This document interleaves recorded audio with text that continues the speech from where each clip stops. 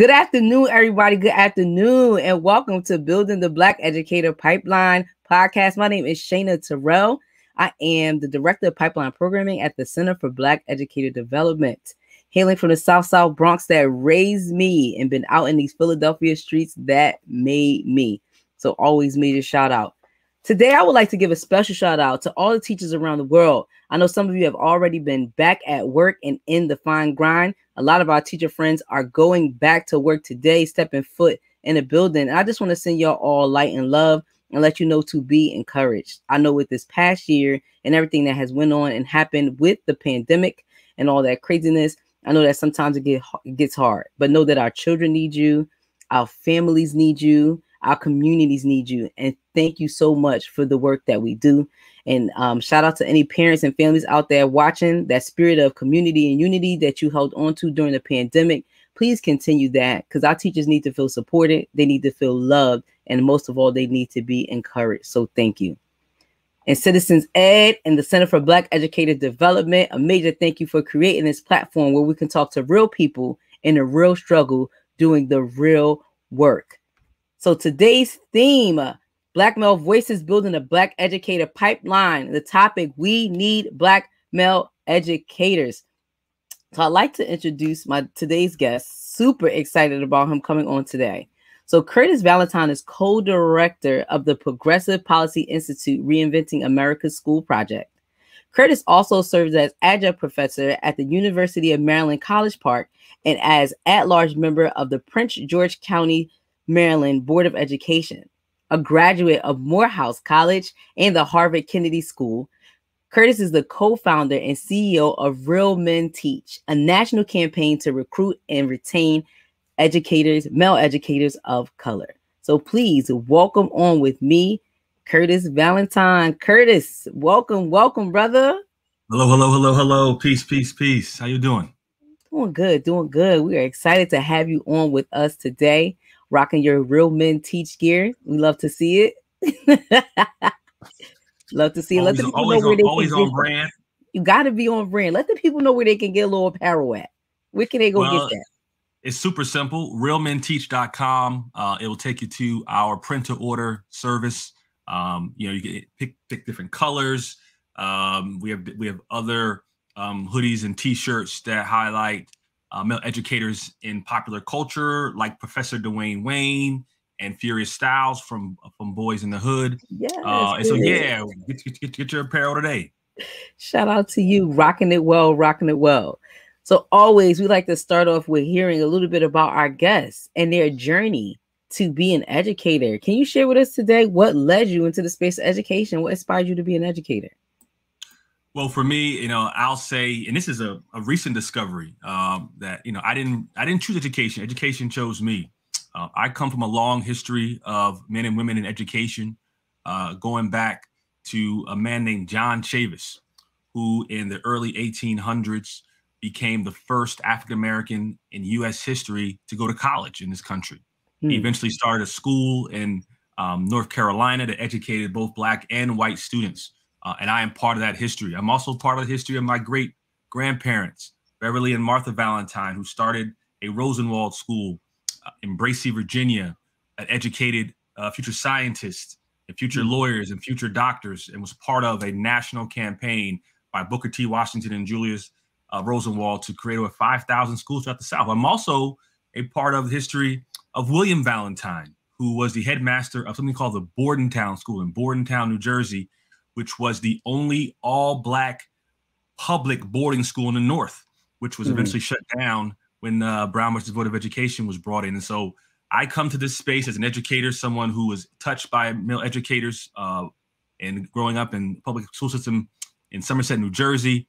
Uh, when I uh, finished at Morehouse, I eventually went off to South Africa as a Peace Corps volunteer and became an educator working in villages in post-apartheid South Africa, returned to the U.S and became a school teacher right here in Prince George's County, Maryland, where I'm on the school board.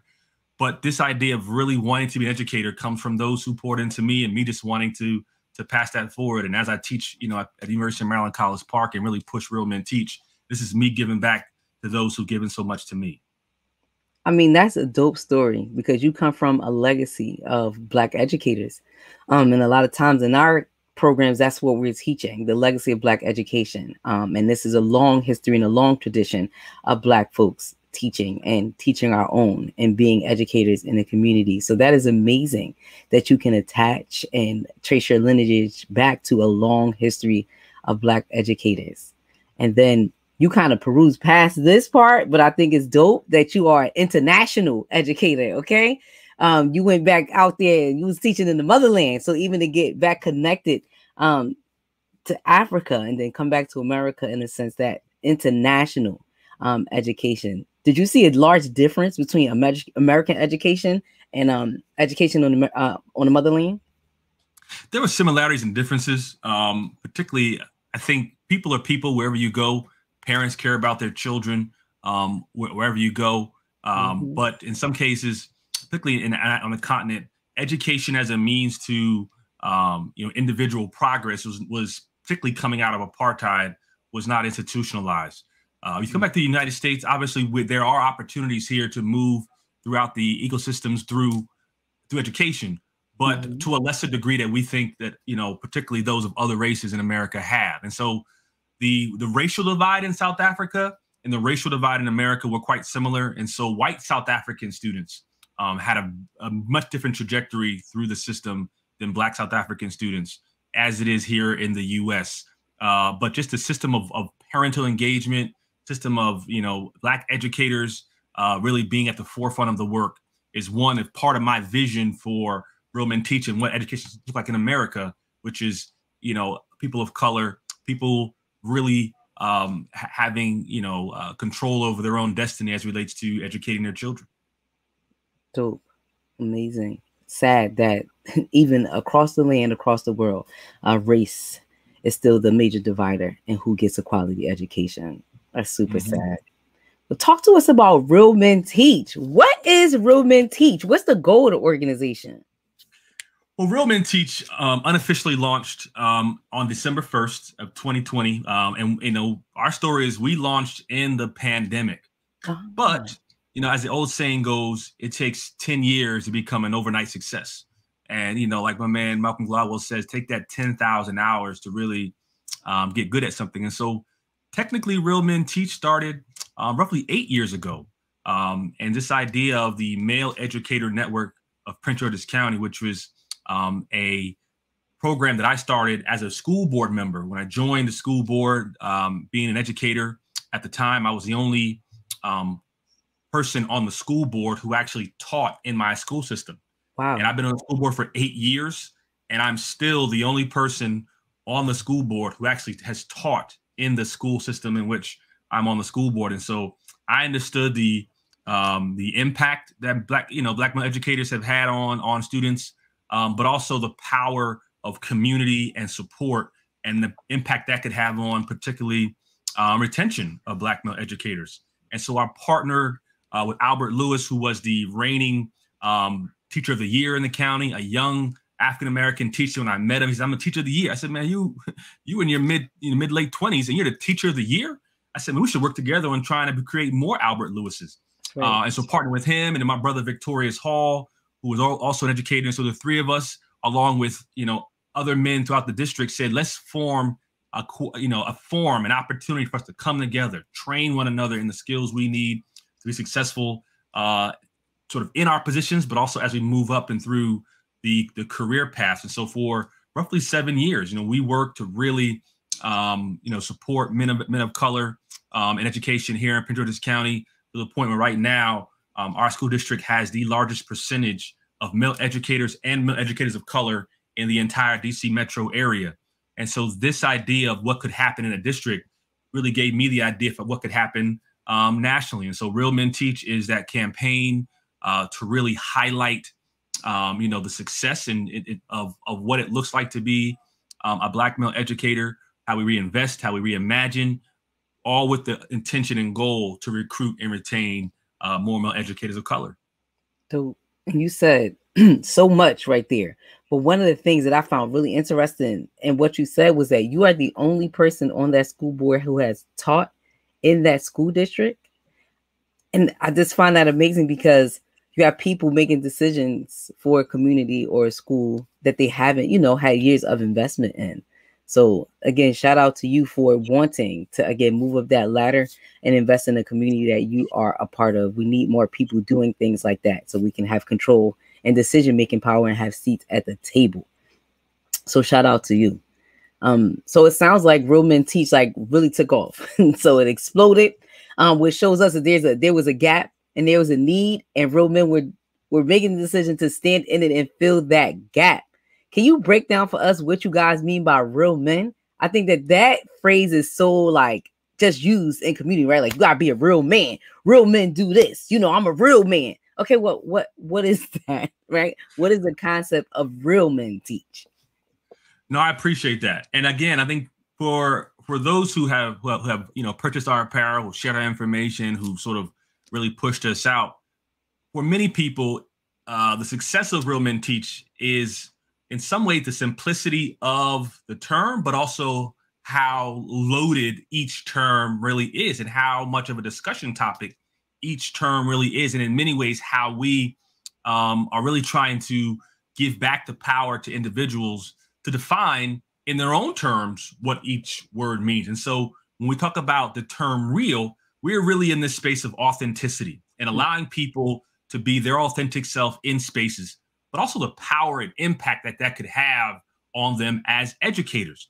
Those who can walk into a teaching space, bring their knowledge of a particular content area or skill, but bring everything along with it and not just solely that skill or content area and what the impact that would have on particularly on their students and their permission um, and that you give your students to be their authentic selves hmm. at the same time. And so it's a, very much a win-win. And so when we say real we say you know what? Real is what real means to you.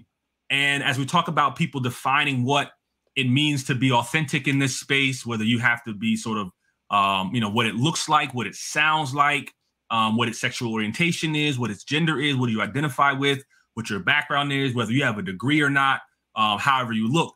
Whatever real means to you is what you define. And so when you wear, when you support our gear, and this is for men, women and men who support our work, authenticity and realness is defined by, and you could shape it and not be really constricted by what real has meant in the past. And we often, you know, talk about real, but not also the word men. And the word men, again, we're having a conversation around um, gender identity and also just what it means to be a man. Um, and oftentimes we talk to talk to men, we say, you know, how do you define manhood? And oftentimes that Ooh. definition is based on what their father's that definition of manhood is, or their grandfathers, or their great grandfathers, depending on the influence they had on their lives. But we say we we moving forward, we define what manhood means. Is does manhood mean being you you you have to do something that um you know may be a, a, a negative seen by some? Um, mm-hmm. Does it mean that you know you're doing things that give you a certain cachet in a certain community? Uh, but we say with particular, you define uh, what men what men means, particularly in a profession like teaching uh, that have, has you know has been you know um, femininized as, as far as this idea of like you know only women when women teach. Like no, this is not something that is solely for women. We're saying that that manhood and being a teacher and an educator are synonymous. And lastly, the term teach. This idea that, you know, when we think about all the all those who influence um, our children on a daily basis, not only their instructors, but everyone who touches them from the from the moment they open their eyes in the morning, from their father, from their grandfather, when they leave the house, that school bus driver, when they get off the bus, whether it be the security guard or the or the or the person who's the building supervisor, to the paraprofessional, to the person working in the lunchroom, to the football coach after after school, to the to the chess chess coach. All of those men in every capacity is a teacher. There's a, there's a picture that went viral a couple years ago of a student who was sitting out in the hallway at a desk working on an assignment, and there happened to be a security guard sitting at the desk with the student doing his homework. Hmm. It's his idea that the security guard was walking by, saw the student in the hallway, you know, and we can have a conversation about discipline and why the student was put out. But nevertheless, the, the, you know, the security guard said, "Hey, what are you working on?" I understand how to do that. Can I help you with that? Because he said, like I all like, like we say, is it's a, all hands on deck. And right. so every man that we see um, that touches a child is a teacher in that space. And so those who wear our apparel make a statement that you don't have to be a classroom teacher. But if you're a father and you taught your child how to tie their shoes or ride their bike or uh, how to tie a tie, in that space, you were a teacher. You were a bus driver and you were the first person in the morning that told that student, you're amazing, you're great. You know, you know what you learned in school that day, and you're imparting some knowledge onto them. In that space, you are their teacher. If you're a security guard or the building supervisor, in every space you have to impart onto our young people, we are creating a village approach. And so Real Men teaches authenticity, it's defining who we are, but expanding this role of what it means to be a teacher in a time when we need all hands on deck. That's dope. And the reason why I like that concept and how it's just multi-layered, uh, I think it just sends a message beyond classroom teacher, but it's also very encouraging about what teaching means and what it means to be a teacher beyond book knowledge, right? Beyond all of those things. And I think that is great. Number one, telling people the whole real men that that really means you bringing your authentic self and who you are, um, and how you define manhood. I think that that's amazing because I think a lot of times under the concept of real man, people don't get to be the, their authentic selves, especially when we think about our young boys and what's pushed into their heads about manhood. Um, a lot of them shy away from being their authentic selves and then attempt to fit onto a role or somebody else's idea of what a real man is. And we know those have so many negative consequences and effects on the psyche of our young men and then how they then act that out. So the concept of concept of being a real man and being your authentic self, I think is dope on the levels that you connected that on. And then let, let, let, let me, me, add one more thing. I, I, think when it comes to those who coming up, right, these Gen Z students who I think are redefining it really on their own. Yeah. And it's a, a quick example. So within our apparel, we have uh, pink hoodies. And you know, when I when I came up, you know, I think you know I give shout out to to, to Killa Cam'ron and Dipset. Yeah, Killa Cam Cam. Yeah, Make, make, make, making making pink, you know, uh, you know, man, you know, manly. But before that, growing up, you know, mothers, fathers didn't put pink on their sons. Mm-hmm. That's not manly, right? We don't do that. Even purple in some ways, you know. But we, these young people right now are saying, "Hold on, I, there are no boundaries to how I present myself, to what I wear, to who I am.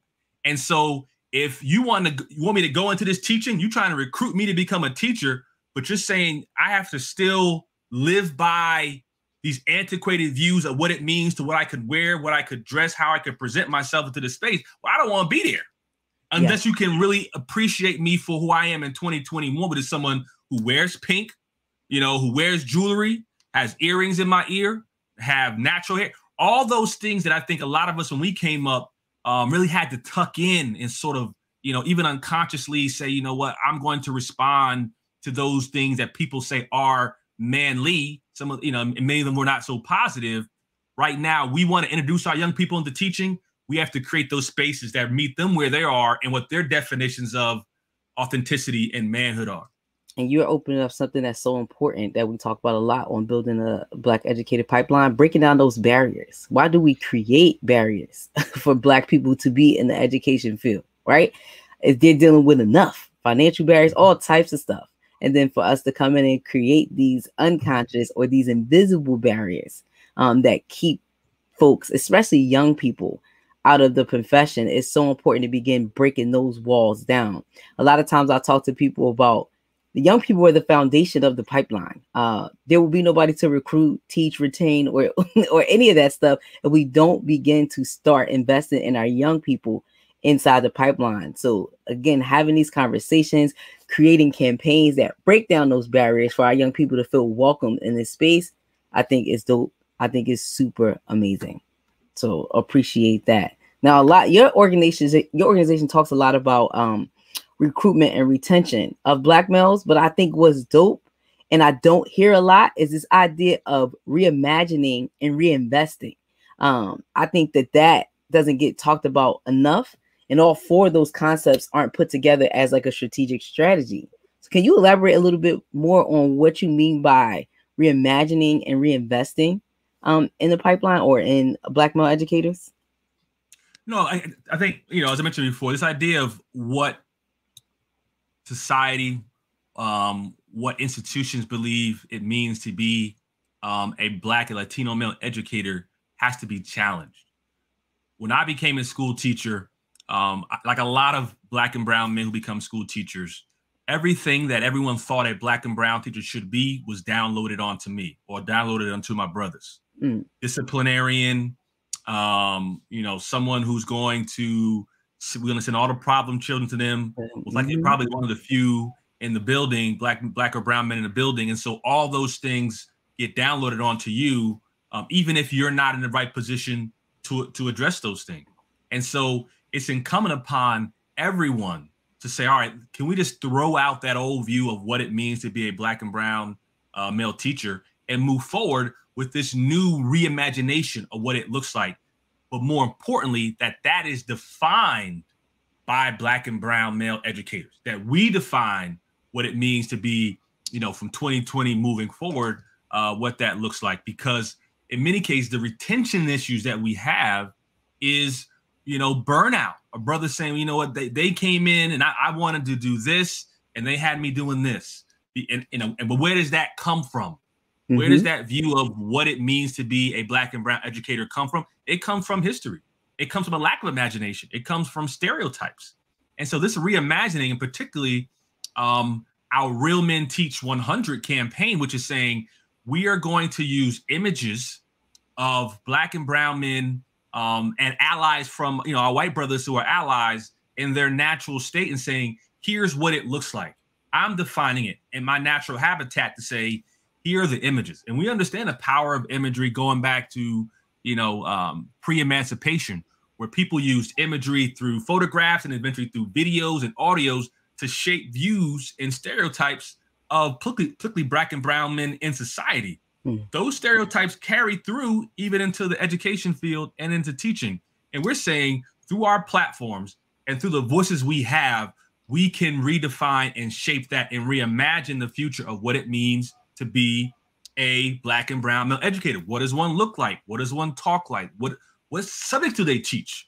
We have a we have a shortage of particularly black and brown educators in the lower elementary classrooms mm-hmm. because there was a sense that you know even some parents who had you know someone who looked like me teaching kindergarten would push back. Why is he teaching kindergarten? Why is he teaching the little kids? You know, uh, you know, those things impact us. Mm-hmm. And if mm-hmm. we're saying that we're going to just look at, you know, look at carry these old ways of stereotyping us, that we're going to get the same result. And so this reimagining, which is again allowing us to speak out through our images um, and to define what it looks like, is an incredibly important way to retain those who we bring in. Because if not, I think we're going to lose more than we bring in. I, I agree with you 100%. The typecasting of black male teachers has to stop. Um, and one thing I learned from being around more black male educators um, is they want to be recognized for what they do. Um, and that's way more than discipline. Just because they can connect with students on a cultural level um, or students can relate to them, black male educators can teach. They're quality educators. They can be your administrators, they can be your principals, they can be your grade team leads, they can be your curriculum writers, all of those things. Uh, but we definitely need to reimagine a world where black men are leading and, teaching. I agree with you 100%. I think a lot of times, and I've found I've I've been, you know, acquainted with black men who have left organizations because they feel like they are being so typecast into a certain role. Um, you know, they're trying to move into roles of and you know instruction, and folks are trying to tell them, "Oh, you'll be better suited here." And exactly what you said about black men being in the high school arena. Um, and you know, there's a deeper thought process and connection for that because they want them there as a sense of, of control for black boys so to speak right? Because we all know that the population um, for teaching is heavily populated with white women. Um, so they want them there you know uh, dare i say as a, as a scare tactic or, or, or a token piece. Uh, who these black boys need somebody to relate to they do. Um, but young children also need to see positive images of black men. Young children also need to develop positive classroom relationships with black men Again, mm-hmm. you know, we plant seeds in kids' heads from the time they're born. So imagine kindergartners and first graders having these positive relationships and seeing black male teachers. That's the age where what most kids are talking about.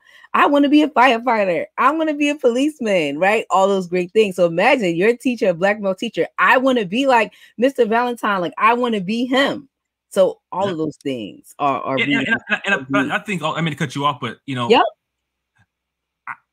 I, asked those to do an experiment, right? Sit mm-hmm. down with some high school students and say, you know, close your eyes and imagine a male teacher. Like, what does that person look like? You know, when you and I came mm-hmm. up, it was not someone who had any swag.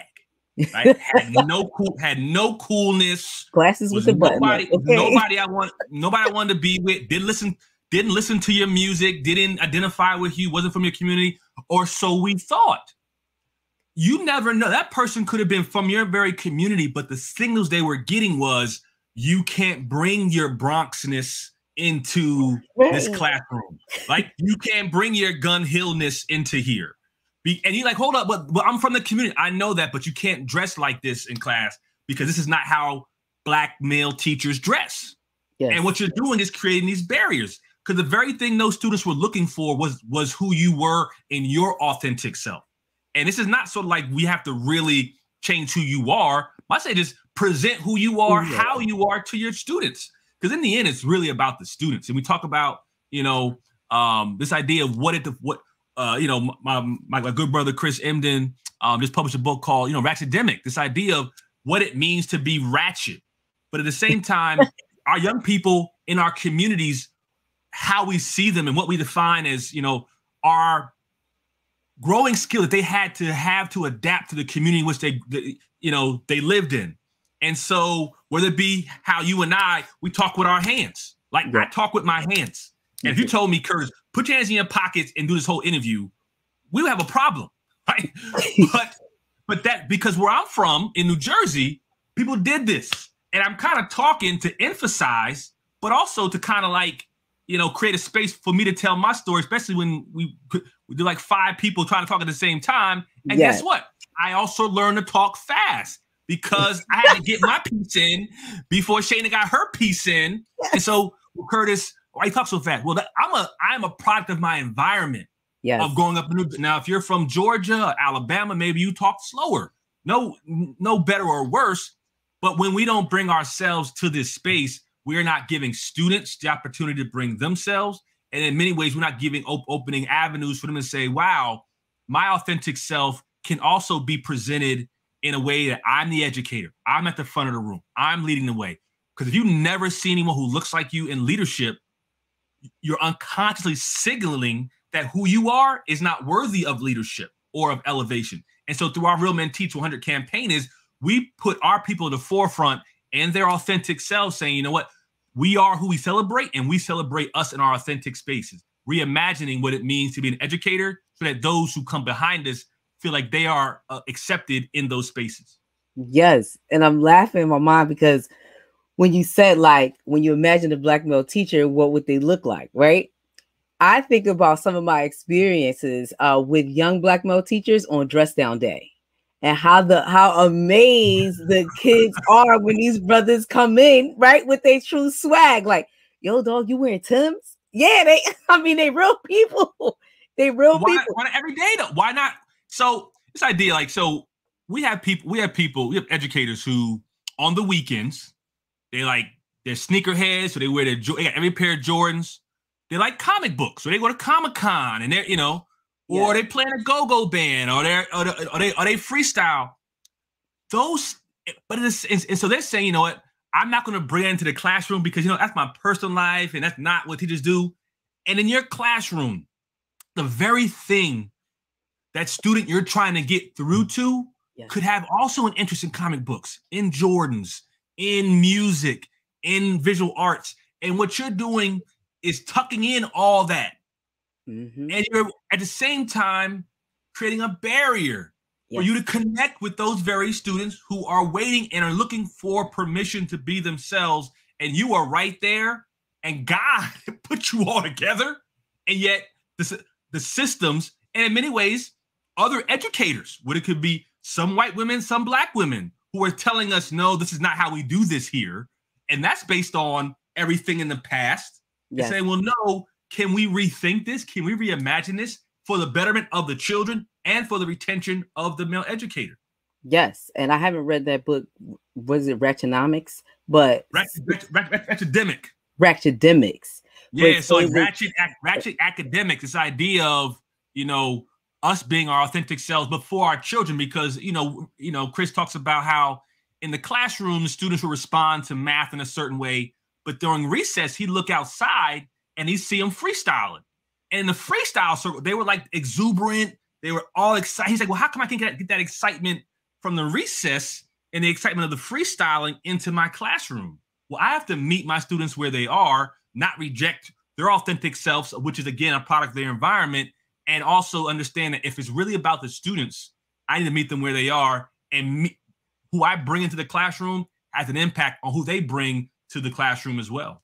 And I think sometimes with students, well, not sometimes, all the time, if you know students, if you work with students, especially Black students, students love when you bring your authentic and your true self to the classroom, no matter who you are, and they respond to that. So I'm even thinking about just for black men, the power of being your authentic self, the power of speaking your authentic language, right? At times to kids. So you teaching math, what is this throw a little like, all right, boom. So this is what we're going to do, right? Kids are going to respond to that because that's that's their language, that's their group, that's what they're attracted to. And that's like, you know, Mr. Sosa, he he mad cool, right? Like that's when you get that. Um, but this idea that you can't be ratchet and academic, um, it's just unheard of. That's yeah. like almost telling kids like you can't outside of school, like you we're straight laced and we don't party. We do like we're real human, authentic people that children can actually relate to. You know what I mean? And understand. But but why would I want to be like you? If you're all stuffy and like and, that ain't the life I'm trying to live. You're saying, don't you want to be a teacher too? Like you? Nah. nah, like, I'm good. Or or what I think we, you know, and what you all are doing, this what the center is doing is we tell people, educators, particularly those who are trying to meet, you know, as early as you all are, is you know what? Nah, you could be a teacher in, in the way you want to be. We we throw out all that and you bring who you want to be. And this is important because you know what I've done with my with with with my work um you know University of Maryland my students we were we were all, we were virtual mm-hmm. for a long time. And I would intro my students were coming in and I'm playing DMX I'm playing Talib I'm playing and you know and they're coming in they're like where my dogs at? Oh my god and I'm coming yes how you doing Curtis Valentine Professor Valentine? And then we're gonna talk about it. They were like we, but I'm still with the business. Yes. But I'm gonna tell you, if y'all were not here and in my office, I'm listening to DMX. I'm listening to Mobb Deep. I'm listening to I'm listening to Fela Kuti. I'm listening. I'm listening mm. to the different people. But you gonna get this, and my man Loaded Lux said, you gonna get this work. My, and I, I listen to battle rap. Like I can, I can listen to battle rap, but also turn on C-SPAN. Right?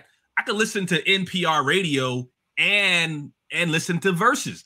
That's who I am in my totality. Yes. But if we're saying as an educator, we only want this piece of you. We only want the NPR and not the Verzuz.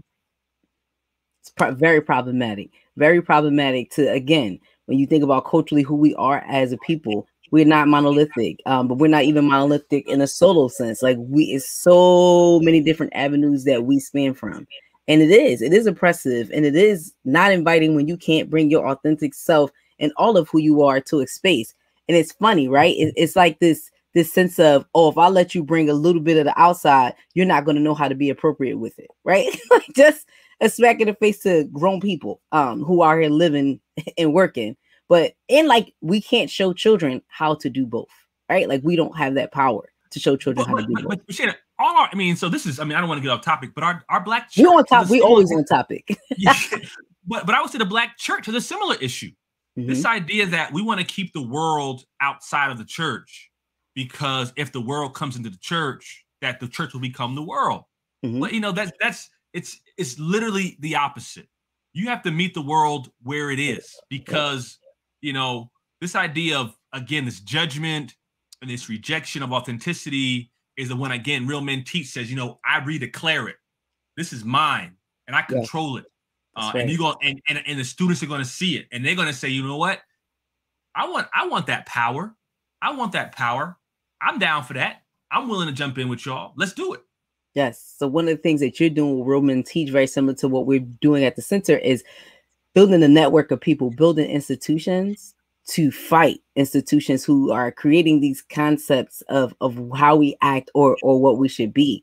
So like even the example of the church, there's a concept of created of how you should be a Christian or how you should be whoever in the church. Then you think about like who created this, right? Like who created these boundaries, who created these barriers, and then when you get like really deep rooted in it, right?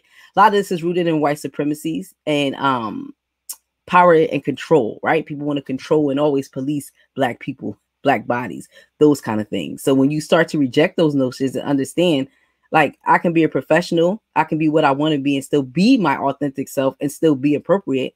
Like you find a lot of power in that. And I think what you're doing with Real Men Teaching, what we're doing at the center is building institu- institutions that celebrate that, that break down those barriers and allow people to be exactly who they are um, and respond right culturally culturally responsive, right? Respond culturally to people. And I think that that's that's great work. Um, but something that's really unique about you, right? So in addition to Real Men Teach, you also work at the Progressive Policy Institute for Reinventing America's Schools. You're a professor at the University of Maryland. How do all three of those experiences influence your quest for teacher diversity? Well, it's it's based on systems. And so at, at Reinvent America Schools, uh, our goal is to work at the system level through superintendents and school board members to really look at how school systems are governed. And we really stand on, on sort of three pillars. One is this idea of autonomy, which is how do you give school leaders more power to make decisions over hiring and targeting particular underrepresented groups? And so, in many cases, our our really quest to um, really grow the level of autonomy that school leaders have. In um, in many cases, those school leaders going to have a little more autonomy, particularly in a charter school or in some cases called an innovation school. These are schools that you'll see in places like um, Camden, New Jersey. You'll see in school places like Indianapolis and Denver, where you're saying we're going to give the school leader more autonomy to make you know make hiring decisions, um, and so that's going to lead to more power and autonomy to choose and target particularly male educators of of color. Mm-hmm. And hmm. so I think, you know, that push and we've worked in, you know, 15, 20 different districts around the country and I'm working with different school leaders um, and, and, and, and fellow school and fellow school board members from around the country. That is incredibly important um, for me to, to talk to my colleagues who are also on school boards, talk about their policies around recruitment and retention, to tell about what we're doing in Prince George's County, targeting even now more Latinx uh, brothers into teaching. Uh, at the same time, you know, at the University of Maryland, you know, I'm one of the few black male professors that my students have, have ever had. And I'm hmm. coming to that space again, understanding the power and influence I have, not only on, on black students, but also on white students, that they understand and they could graduate from college saying, I too had a black male professor, and his name was Professor Valentine, and this is who he was. Both masters from Harvard, everything else, but came to class in his authentic self. And so we're going to give permission to even some of our white brothers and sisters to be themselves because they also live in a space where they have to sort of respond to certain caricatures of what it means to be who they are. I'm also on the faculty senate subcommittee on um, diversity, equity, inclusion at University of Maryland. Mm-hmm. We have a, a black male president for the first time in the school's history who's going to dedicate $40 million to teacher diversity at the higher ed level. And Come so on, you know, everyone teach, you know, we want to partner with uh, we want to partner with higher ed folks in this space. How are we working with um, higher ed to create pipelines of black and brown male educators, not only in K 12, but also in um, in higher ed as well? Because when we're talking about the teacher training that Sharif talks a lot about in your center, a lot of it's going to be who are teaching our young people how to be educators. To be educators. That's going to happen. That's, that's going to happen with our um, with our professors. Yep and that's what my next question. I mean, you you you kind of answered it, but I would love to hear more about how it works in school of education because there's a lot of focus in K 12 education on teacher diversity, but there is a strong lack of teacher diversity in schools of education around the world. But why is it important that we do focus on diversity um, in schools of education? You already named one really important point because it's important for us to understand who is teaching our future teachers. Um, but what are some other benefits you see by diversifying schools of education around the country? Well, I mean, I think when we're in, some of the universities that have approached us, and you know, I mean, we're we've been in such a place where we've had universities unsolicitedly just say, "Hey, you know, we're trying to bring more high school students to apply to our university, particularly our School of Education. We have students who are on campus who are studying other topics, engineering, math, you know, law, and we're trying to get them to take courses at our ed school because mm-hmm. maybe they want to take their skill in science and math or in literature and apply it to teaching. And so they understand the power of what we call community.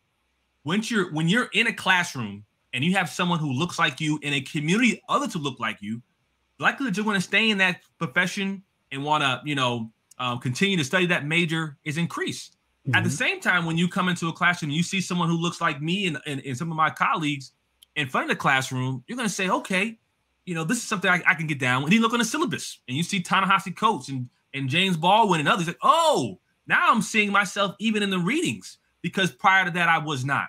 And then when it comes specifically to the teaching profession, this idea of cultural competency, this idea of un- un- ensuring that you know we are teaching how to be anti-racist even in even before they get into the classroom, because oftentimes we sort of say, you know what, we'll take you as you are, and we'll you know we'll do sort of professional development sessions every once in a while. You know, we'll bring up the speed. We don't have to do that. If we can diversify our higher ed space and bring more black and brown brothers into the teaching space, we could prepare our folks to be ready on day one to mm-hmm. teach in spaces that allow for our students to be authentic and also to meet them where they are and have to deal with a lot of the issues that have to be sort of uh, you know take sort of uh, addressed once they get into the classroom because they've been sort of um, uh, have issues at higher ed and what's taught and mm-hmm. um, and those things. So I, I think there's there's power there. I, I agree with you 100%. And I think the same benefits that we talk about that exist in K 12 uh, for black te- black students having a black teacher, those same, um, if not a little bit more powerful for white students, um, exist um, in the higher ed. Because if you look at schools of education all around the world, right, it, they're mostly populated by white students, right, white white female students who have probably never even had contact or had a black teacher through their whole experience. So at least at least at, at, the university level, right? They're going to see or have a black professor if we diversify that population. And like you already hinted on, giving a whole entire different perspective and not having to wait till you get to your actual job to get this training on um diversity and inclusion or cultural competency. So having that be a real experience um, in the school of education is super, super important. What would you say are some of the challenges that Black men are facing with breaking into the education profession? We already talked about some of the social challenges of not being their authentic selves. Um, are there some others that you see or Black men have uh, have quoted or said to you? Well, um, a couple things. Let me say, you know, there, there's an old saying, um, not old saying. Dr. King once said, you know, uh, as we were talking, as we going through the civil rights movement and these conversations around integration, um, and he said, you know what, you know, just where America is going, I'm fearful that we're integrating into a burning building. Mm. Meaning we we want to be accepted by a community that in, in and of itself is not um not healthy mm-hmm. in a lot mm-hmm. of ways. Mm-hmm. And so when I think about particularly black male educated, and us really wanting to say we want to increase and we want to recruit, recruit, recruit, I am concerned that a lot of the spaces that we're recruiting into are not ready for our brothers. And this gets to this piece I mentioned before because of all the stereotypes and the lack of imagination. And so if we're not creating these spaces, not after they get there, but before they get there, we're going to lose again more than we bring in. And so we have to sort of say who who's going ahead of us and mm. making a space for us and making a way for us so that when we when we land that there is support, there is affirmation, there is community and that is an mm-hmm. issue I think we we already have now because those who us have gone and have told our stories about when we walked in in the first year or two, really trying to sort of again define who we are and having to do it year after year after year to the point where so so many end up leaving. That that is incredible. That that that's an issue. I mean, if yeah. you want to sort of get into pipeline issues, I mean, if, if if you're talking about particularly again the images and the ideas of what it means to be an educator, we have to again uh, understand what that means. If I remember my own experiences, and I had some positive experiences and I had some negative experiences, and I wasn't someone who went directly into education or decided in college I wanted to be an educator. mm-hmm. um, because of again, first how the profession was viewed in society, my own personal experience, and the like. And so it also has to be a societal, societal, village level elevation of the profession. And again, through Real Men Teach, and our and again, our continued um, positive imagery through our Real Men Teach 100 campaign is saying we're going to put the teaching profession in your face every single day. And when Sweet. we talk about normalize normalize it, like wow, this guy Curtis is posting about another black or brown educator who's killing it. Oh man, all right, Kurt, we get it, we get it, bro. This stop. Like no, no, no.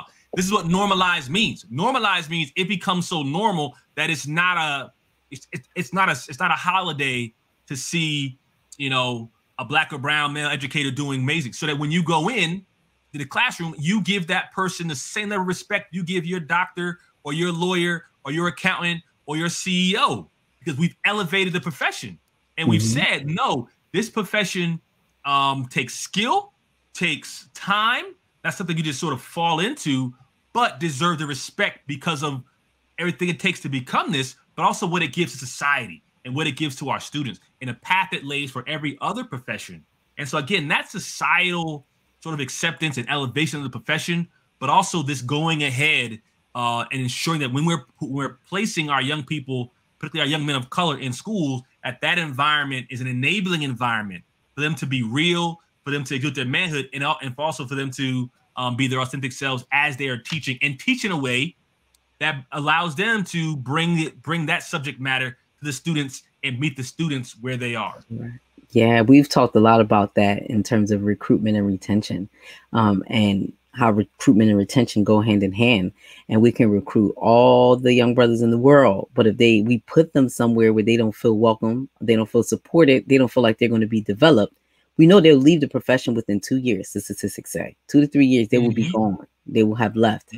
Um, so we started to have this idea about preparing leaders to be able to lead and support um, and mentor um, young black men that are coming into the profession because we're not, we're going to continue to have the leaky pipeline, right? We're going to have all this healthy recruitment of getting people excited to be in the field. And then once they get in the field, they're like, hold up, this is not what y'all told me was about to be. I didn't know I would have these extra hurdles and these extra uh, struggles to have to endure in order just to teach some black children.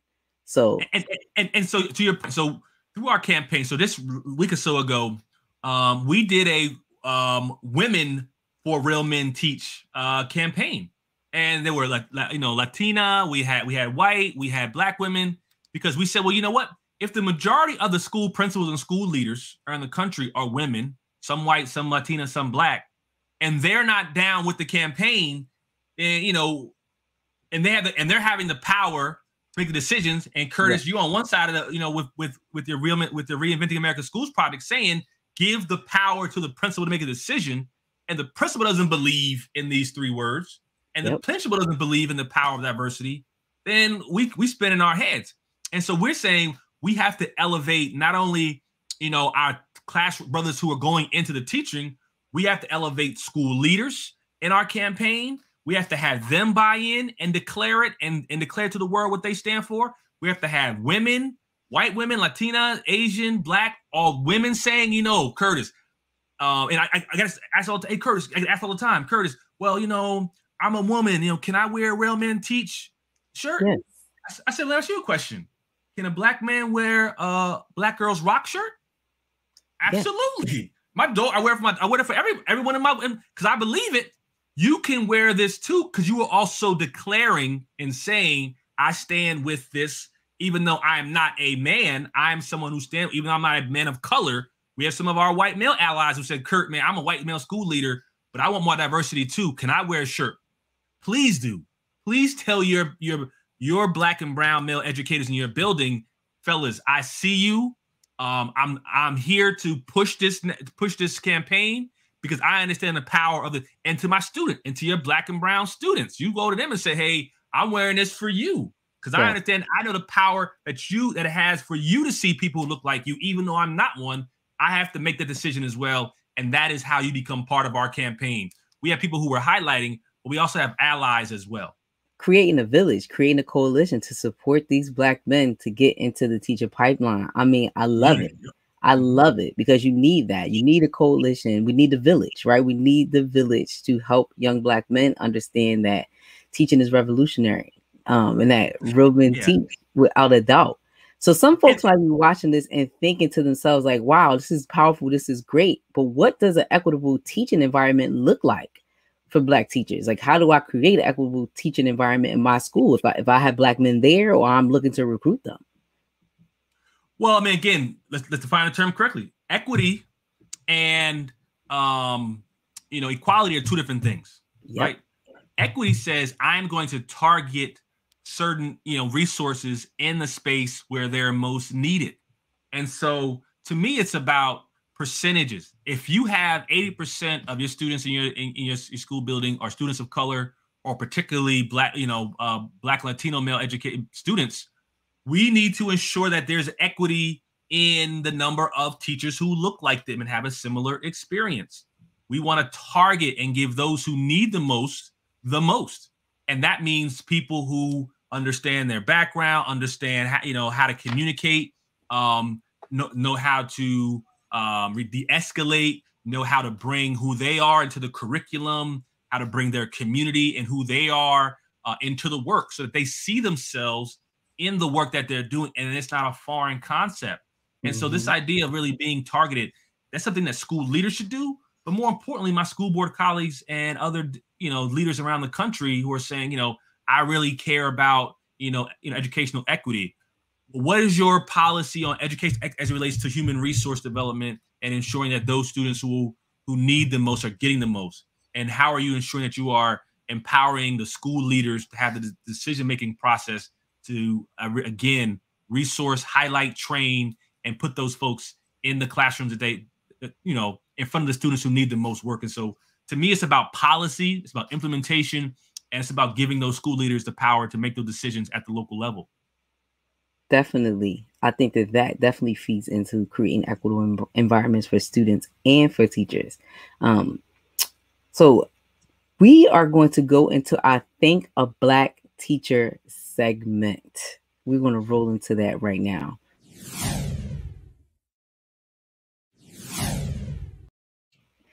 So, Kurt, I want to give you the floor um, just because we're looking at you and the amazing work you're doing, and you're so powerful. But I'm pretty sure that you have had plenty of influences in your life.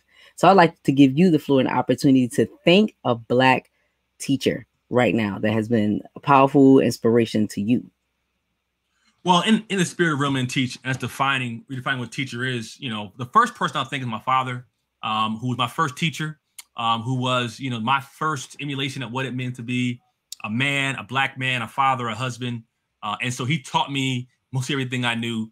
Uh, but eventually, before his death, you know, with my mother, um, uh, started in business of early child development and started early child development schools in New Brunswick, New Jersey, uh, and really poured into the future of my community and ensuring that they had a head start through early child development. Second person is is my middle school principal, uh, Carl Wade, who um, even to this day is a champion of mine who works with us in this space. Who, when I first started Real Men Teach, brought 15 hoodies and handed them out to all educators in his field. Uh, he's someone at a very young age who showed me this is what it means to be a black male educator, but a leader, being that school principal, walking around, getting the respect of the community of parents. I wanted to be that.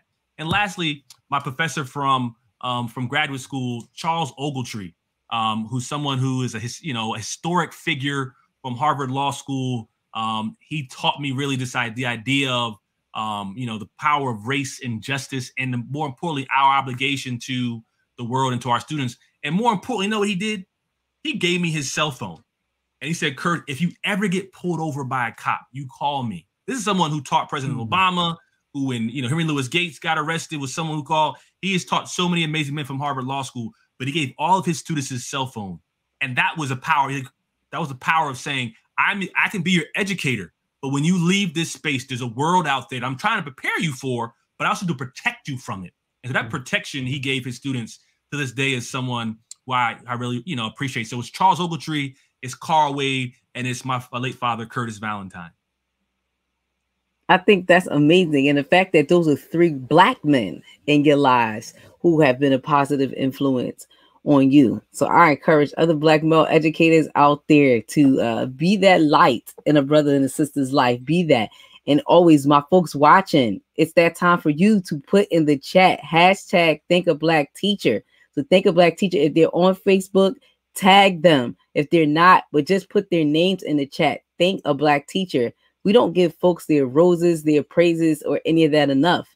And um, a lot of times I just think that, that as black teachers or folks teaching in a profession, you don't understand or realize the impact that you are really making on a person's life. I'm pretty sure that folks' names get called out all the time. They're like, me, I did that. Like, I was just being me.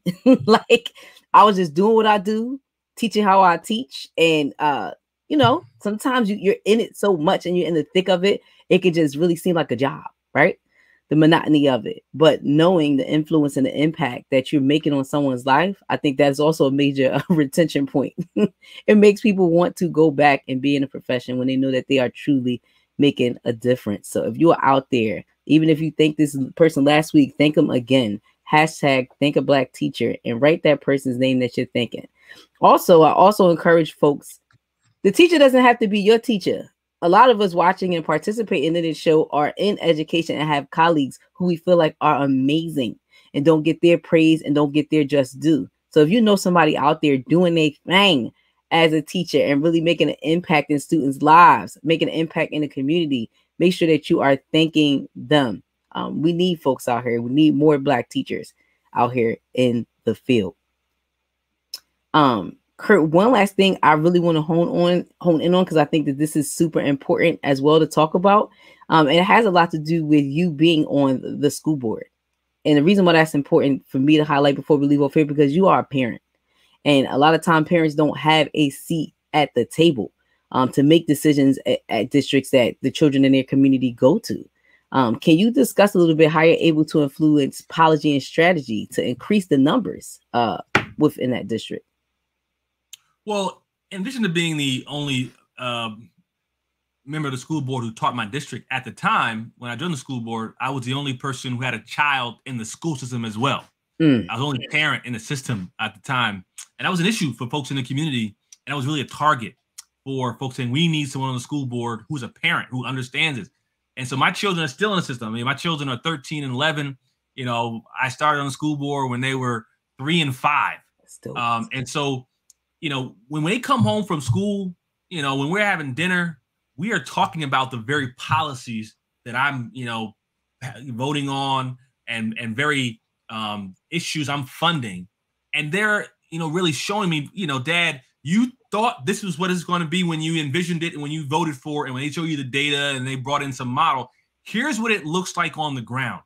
At the same time, my wife is a is a is a principal, and so when it comes to policy, it's coming from the policymaker, the superintendent, to all those who carry it out, to the, to the school leader, and to the students. And so there oftentimes there's disconnects from policy to practice and throughout the pipeline and throughout throughout the system. And so to have someone like a wife who's able to talk to me and really explain to me where policy and practice intersect and where they dissect, and having students to be able to respond back to me on a daily basis. My children are telling me, Dad, I like the school lunches who, who, who, who'd you all sign a contract with? You know, or dad, how come we don't have this in our building? And I'm like, okay, let me think about that. Is ours is, is your experience the same as everyone else in the system?